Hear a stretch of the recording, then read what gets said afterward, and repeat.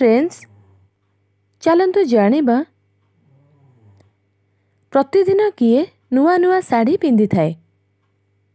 ଏମିତି ପନ୍ଦରଟି G K quiz question and answer ବର୍ତ୍ତମାନର ସମୟରେ ଲୋକ ଏତେ ମାତ୍ରାରେ ନିଜର କାମକୁ ନେଇ ବ୍ୟସ୍ତ ରହୁଛନ୍ତି ଯେ ହସିବା କ'ଣ ସେ ଭୁଲି ଯାଇଛନ୍ତି।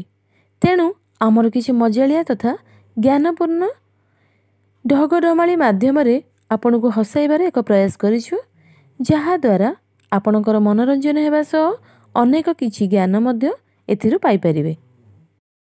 ତେବେ ଆଉ ବିଳମ୍ବ ନ କରି ଚାଲନ୍ତୁ ଜାଣିବା। ଏକରେ ଖାଇବାକୁ ଦେଲେ ବଞ୍ଚେ ପିଇବାକୁ ଦେଲେ ମରେ ସେ କିଏ?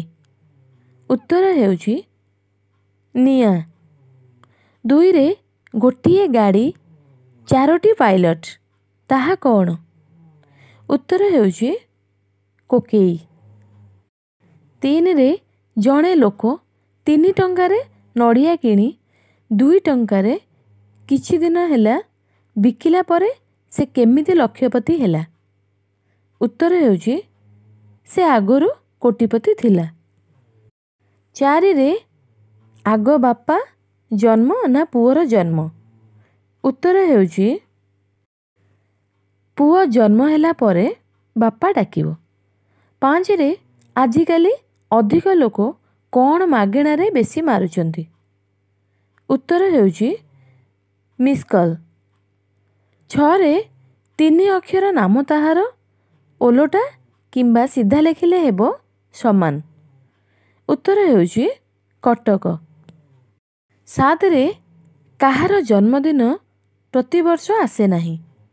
ଉତ୍ତର ହେଉଛି ଫେବୃଆରୀ ଅଣତିରିଶ ଅଧିବର୍ଷର। ଆଠରେ ବଙ୍କା ବଙ୍କା ମାମୁଁ ତୁମେ ଯାଉଛ କେଣିକି? ଦାନ୍ତ କିଲା ଭଣଜା ପଚାରୁ କାହିଁକି? ଏହାର ମାନେ କ'ଣ? ଉତ୍ତର ହେଉଛି ସାପ କପା ତୁଳା ନଅରେ ହାତ ନାହିଁ କି ଗୋଡ଼ ନାହିଁ କିନ୍ତୁ ମୁଣ୍ଡରେ ବସେ। ଉତ୍ତର ହେଉଛି ଟୋପି।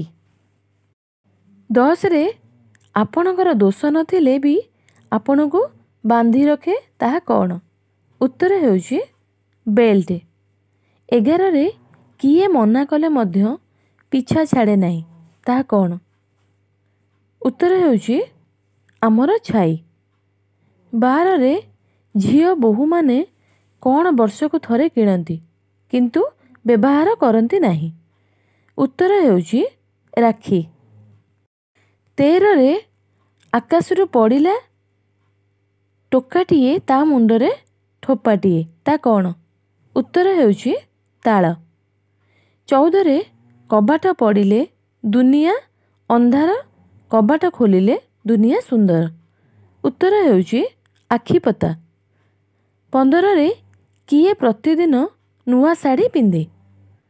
ଉତ୍ତର ହେଉଛି ପିଜୁଳି ଗଛ।